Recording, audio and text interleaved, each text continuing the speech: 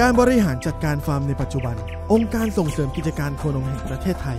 ได้นำเทคโนโลยีเข้ามาเพื่อการบริหารจัดการฟาร์ม ได้อย่างสะดวก แม่นยำและมีประสิทธิภาพมากขึ้น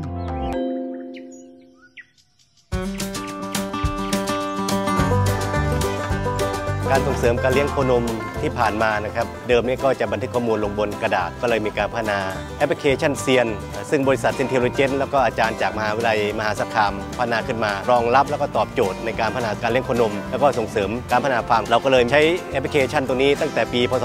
2562 เป็นต้นมา แล้วก็มีการส่งเสริมให้เกษตรกรมีการใช้อย่าง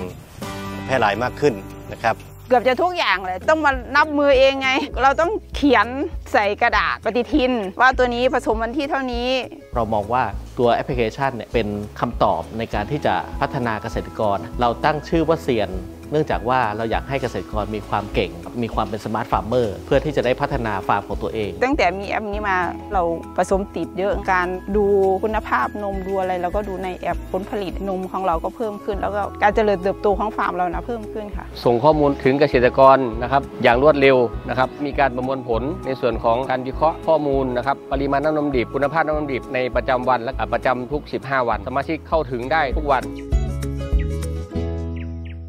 เราสามารถส่งข้อมูลไปให้ส่วนที่เกี่ยวข้องในส่วนของส่งเสริม เพื่อที่ทางส่งเสริมจะนำข้อมูลจากการตรวจสอบคุณภาพนำไปสู่เกษตรกรได้โดยตรง เพื่อให้ราคาน้ำดิบประกอบกันกับปริมาณน้ำมันดิบที่เราได้รับข้อมูลมาจากทางศูนย์ทั้ง7ศูนย์ครับ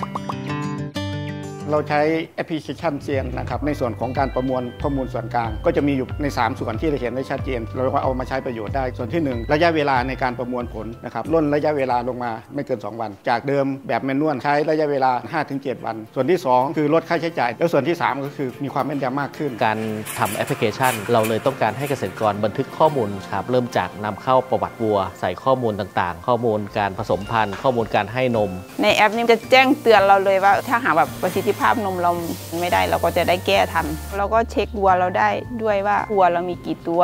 ตัวที่ท้องตัวที่ไม่ท้อง เราไม่ต้องไปเปิดเอกสารหา เรามีการพัฒนาฟังก์ชันต่างๆ รวมถึงมีการส่งต่อประวัติโคนมถ้าเกษตรกรขายวัวให้ฟาร์มต่อไป ประวัตินี้ก็จะไปกับตัววัวได้เลยแอปพลิเคชันเนี่ยเซียนแดรี่นะครับถูกนำติดตั้งที่อสคขอนแก่นโดยศูนย์ส่งเสริมของอสคทั้งหมด 7 ศูนย์นะครับมีเกษตรกรประมาณ 700รายนะครับที่ใช้อยู่ ซึ่งก็ต้องยอมรับว่าสามารถใช้ได้ดีนะครับการระบบการบริหารจัดการน้ำนมดิบของประเทศเนี่ยจะได้ผลดีมากนะครับก็ขอสนับสนุนนะครับการใช้โปรแกรมนี้อย่างทั่วถึง